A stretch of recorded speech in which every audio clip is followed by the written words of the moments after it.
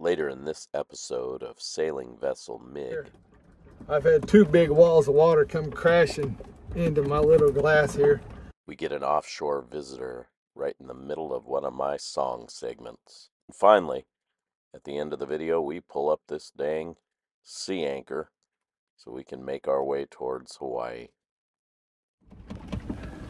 Hey everybody, just a little update from back here in Norm's Presidential Library and Massage Parlor. I got that from Rush Limbaugh talking about Bill Clinton. That shit's funny right there. Library and Massage Parlor, that's funny. Anyway, little update here. Uh, it's uh, Wednesday evening, just before dark, and uh, we uh, got the sea anchor out, and uh, God almighty, them waves are big, man. Oh my God. I've had a, I don't know, let me, uh, I'm going to let you see my little, that little, you can see out here, I've had two big walls of water come crashing into my little glass here. I can look out over there and see the, the waves coming, but we don't have too many breaking over because we've got, uh, got the sea anchor out and then we got the tiller over hard to starboard and the sea, sea anchor is about 45 degrees off, uh, maybe not 40, 40 or so degrees off to the starboard as well. So we're making a slick so in the water, and I've always heard talk of the slick on the water and everything, but I've never seen it. But now and it's working pretty darn good. Because a lot of them waves, you know, they would be crashing on the all over the side of the boat, and we'd just be soaked all the time in here. But uh, in the cockpit and stuff. But that way, that slick is knocking them waves down. I never knew it worked, but it does. It's crazy. Anyway, uh, looks like I'm going to be in here till uh, late Wednesday or Thursday morning. Because I don't dare poke my head up out of that hole. Because I'll get one of them big waves right in my face, and I sure shit don't want that. anyway, I got some snacks here for the next few days, and a few bottles are empty. But they won't be in by Thursday, I guarantee it. Anyway, I just been reading some uh, Louis L'Amour Sackett Sackett books from Louis, L'Amour. Keeping me busy. I got a few more of those to read. And, uh, and I just sit here and listen to the wind howl. And the way the wind's blowing now, it's blowing towards us. So my little flap that usually hangs down in front of the door there, or my hatchway deal, it's blowing back so I can see out now everything. So maybe I don't want to. I don't want to see that big giant wall of water coming. But anyway, so uh, Topher's doing a lot of videoing up there, so you'll be, be able to see a, a, lot of the storm and stuff. I can't really video from here. I can see little bits out the window, but not very much. Not good enough for, like, he's got the GoPro out there and everything. So, anyway, that's all we got for now. We'll either, if something bad happens, I'll check in later, or if not, I'll talk to you tomorrow. Adios!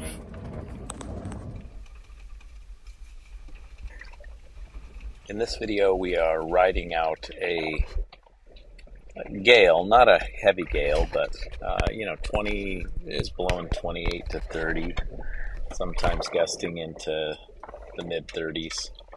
Uh, the waves were probably 12 feet. It's awful hard to see when you look out here, but uh, this is the beginning of it. Uh, the first night that we were hit by this gale on Sea Anchor.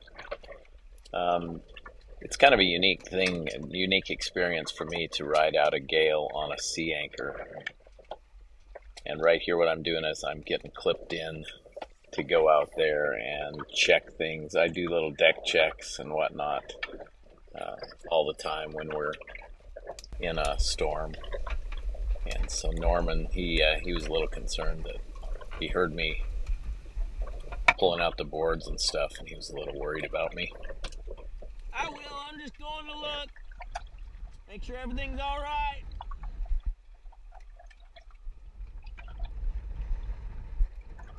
So now uh, I'm going to clip on. I have a have a tether that has two different tethers attached to one, which is kind of nice. One's a little shorter and one's a little longer, so it allows you to have a little more options with where you clip. I usually don't use the tether in normal sailing, but I always use it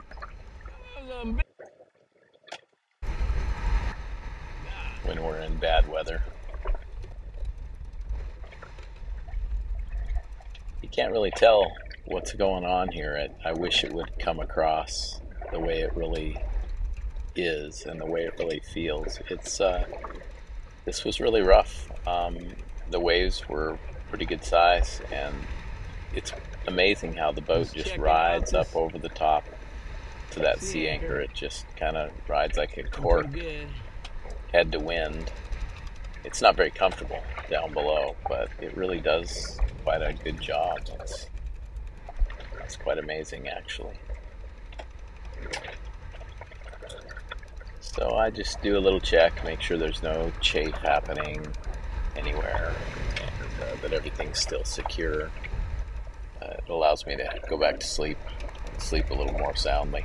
We do do watches as well um, during the entire time. Somebody's always on watch, and this was my watch time right now.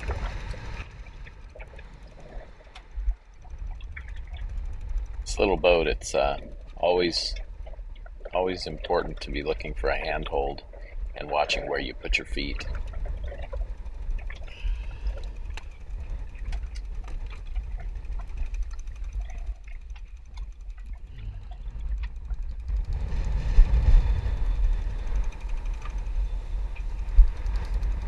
This is why you have a tether with two on it. Right here.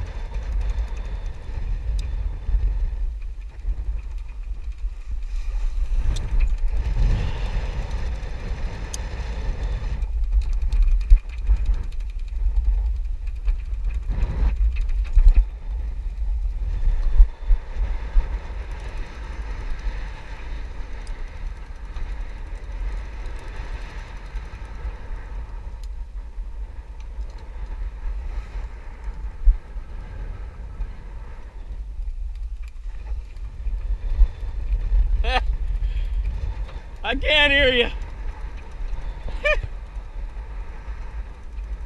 it looks good up there. You need anything? That's good.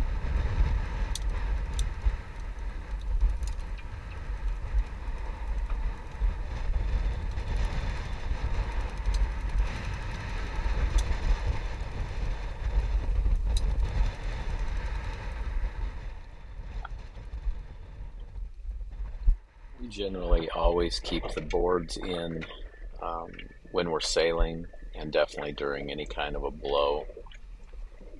The, the cockpit is just so wet on this boat. Maybe when we get our cockpit coamings fixed in Hawaii, we won't have to keep these boards in all the time, but definitely in a storm, we always keep the boards in. Uh, and we have successfully avoided having any water really come down below. We've had one wave splash over a little bit and come below, but um, we're very diligent about keeping the boards in.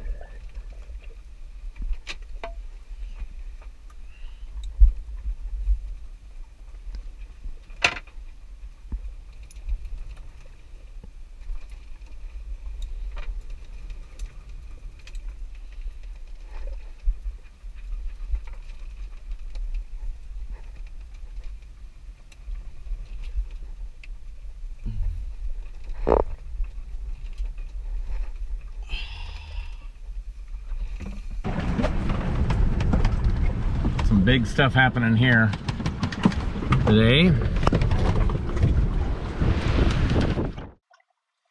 While under the sea anchor, you could feel the shock absorption of the extra rode that we had put out. It really did help a lot. You can watch right here and you can see how the bow comes up and then pulls down very quickly. Had we not added that, I think it would have been a much rougher ride, but it was definitely not a comfortable ride. It's not something that you would, you know, go out and look forward to for sure. I think that uh, if I had my choice, I would rather heave to. Plus, it would be easier to get going after the fact. Pulling up that sea anchor was really, really difficult, which you'll see in the next video. We share the whole process of pulling up the sea anchor. We were happy to have avoided the larger portion of the gale by doing this, but if we had to choose again, I'm not sure that we wouldn't have just kept sailing and then rode out the gale in the drogue.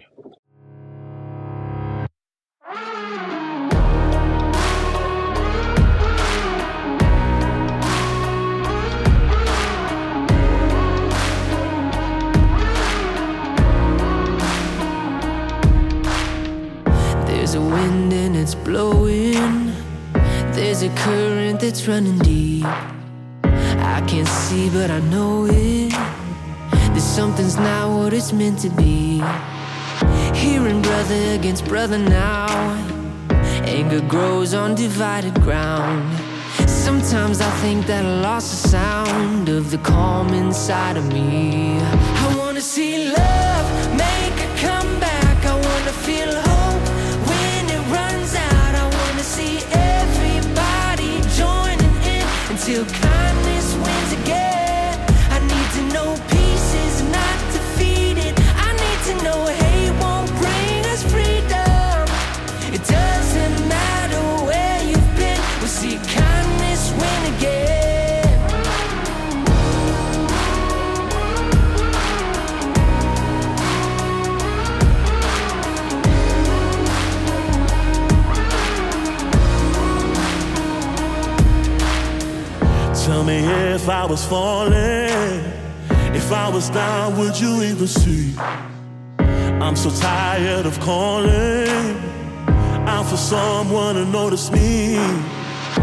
been down on my knees for so long, crying, please. Where were you when I was hurting? Now that I pull back the curtain, oh, I wanna see love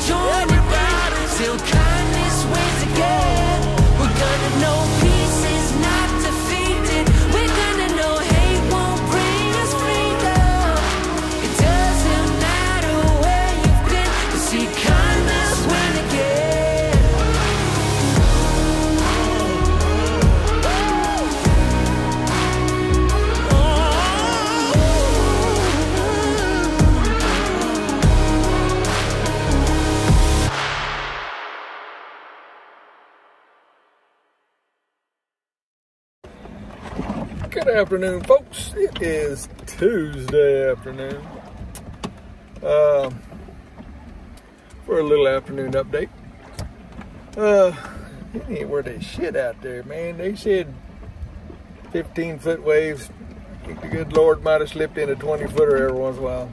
It is not pleasant out there. It is bad.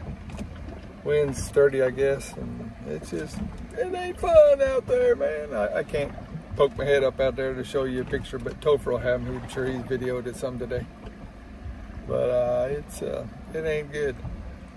We're safe, dry, and all that kind of fun stuff, but it's just not comfortable. It's like the, the mechanical bull on Urban Cowboy. It's 24/7 and it don't stop. It's back and forth, up, down, round, around. Woo! But nine seconds, my ass, 24/7. Anyway, no, eight seconds, ten seconds, nine seconds. I don't remember. Oh, it was a long time ago.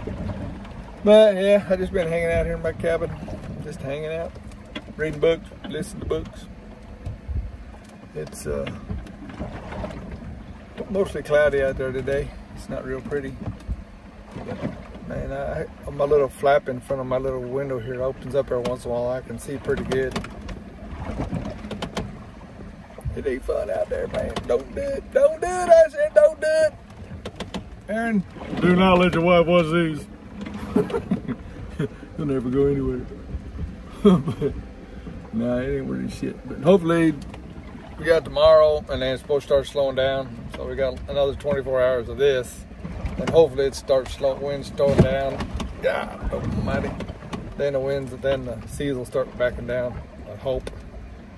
And then Thursday, hope we can get that sea anchor in. If it ain't, if it's like this, I don't know how we get that sea anchor in, but we'll have to just wait for it to calm down. Whenever we can get that in, then we can get the hell out of here and get to Hawaii. Hopefully we can cut out a lot of that southerly that we were going to have to do to go up to Hawaii, go down and up to. We can hopefully just go straight over from here, pretty much straight west. I hope that's what happens, but we'll have to see what the weather does. But anyway, that's all we got for tonight. We'll check y'all later. Adios.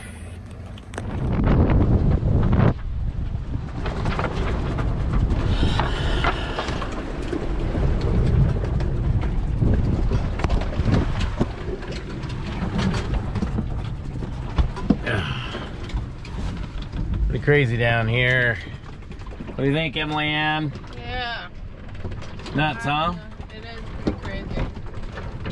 Rather, You what? rather uncomfortable, but it's okay. We have another day of this. Could be worse. Um, today and tomorrow are the worst of the gale. We're- Some of these waves crashing over are pretty big. I've tried to catch it on the GoPro, and I'm not even going to post them because it, they it just looks flat, and they're my they're giant. They're they're really big waves. So I'm going to try it with this good vlogging camera. I'm going to go out there right now and see if see if you can get an idea of what it's like.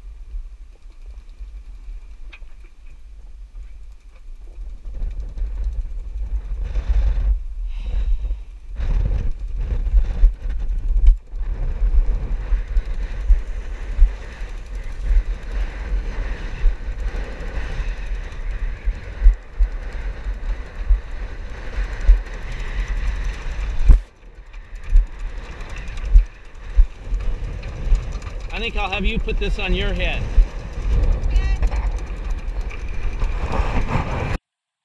All right, so we are raising the sea anchor, and I want to let you know that the voiceover here may have some noise in the background. And that's because I am uh, underway right now towards Hawaii. We've only got a little ways left while I'm making this video, and we are close hauled, and so you're hearing the water crashing against the hull while I make this voiceover. So it's still sailing related. So what we're doing here when we pulled up this sea anchor is I had to go forward and we had to wait until the each time until the bow was into the waves in order to pull up that sea anchor. And then you'd have to just give a little bit. And we were bringing in it maybe an inch or two at a time at the initial start of this process. Eventually, toward the end, as we got closer to the actual sea anchor, we were able to bring it up by the foot. But it was difficult. So I'm pulling up on the uh, rode, and then Norman takes up the slack on the gypsy. And it, it was quite a long process. Next time, we're going to set it up so that we can use the actual windlass gypsy uh, rope side to pull this up. But we couldn't do it this time because of the anchor being on there and whatnot. We just weren't set up to do it. And when it's under this kind of stress, there's absolutely no way you could wrap that thing around that gypsy drum anyway. So yeah, it was a this was a big process. It took us 4 hours to pull this up. 4 hours. And 4 hours of strain. I had blisters on my hands. Norman and I both of our upper shoulders and our arms were shot after this. So you're not going to want to throw out a sea anchor for anything less than a real storm situation, in my opinion.